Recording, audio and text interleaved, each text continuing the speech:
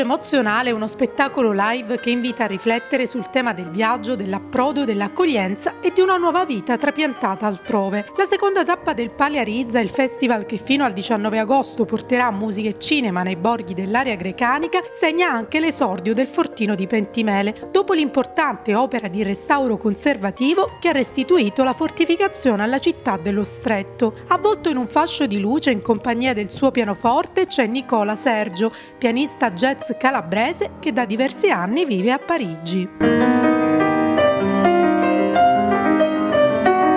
Le note sono quelle delle composizioni di Migrants. Essendo io stesso un emigrato, dice Sergio, ho voluto dedicare dei brani alla famiglia alla quale mi sento di appartenere. Dieci pezzi che si ispirano a documenti, film, ma soprattutto a incontri con migranti, testimoni privilegiati di storie di una grande ricchezza umana.